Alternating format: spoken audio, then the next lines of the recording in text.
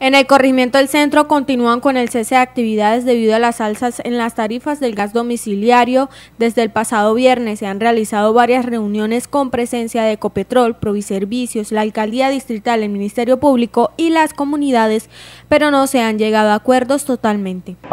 Se hicieron unas propuestas, eh, las comunidades no estuvieron de acuerdo, continúan en el cese de actividades.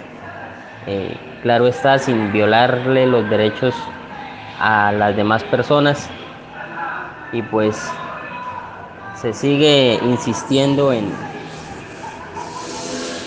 en la solución del problema. Una de las problemáticas por las cuales las comunidades de las 31 veredas del corregimiento del centro están en asamblea permanente es el costo en la instalación del servicio del gas domiciliario, que está por un valor aproximado de 1.700.000 pesos. Por eso se propone invertir un dinero para quienes no tienen la conexión y elevar el subsidio a un 80%. De una inversión de 17 mil millones de pesos.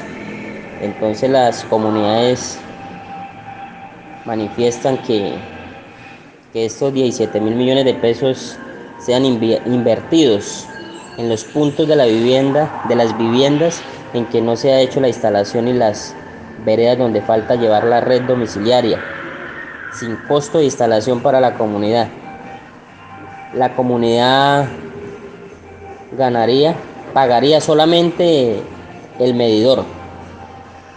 Hay una segunda propuesta que es que se le dé la solicitud al Ministerio de Minas y Energía para que se suba el subsidio de un 20% que es en el que actualmente está a un 60 o 80%. Sin embargo, este ha sido un punto difícil de concretar entre las partes, por eso se citó una nueva reunión por parte de la estatal petrolera Ecopetrol para este 20 de abril, en donde confirmó la presencia de la CREC, la Comisión de Regulación de Energía y Gas, una de las peticiones de los habitantes. La comunidad hace el llamado para que se adelante esta fecha.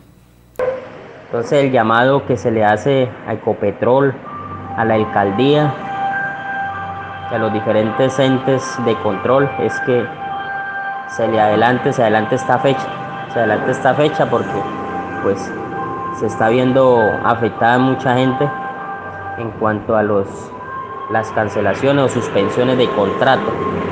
¿sí? De igual forma la gente está apoyando las actividades y la idea es, seguir apoyando, pero también hacer el, el llamado a que a que se adelante esta Asojuntas, a través de un comunicado oficial de tres páginas, ratificó la importancia de continuar en asamblea permanente hasta que se lleguen a los acuerdos planteados y se garantice el acceso al servicio de gas a todas las comunidades del corregimiento del centro.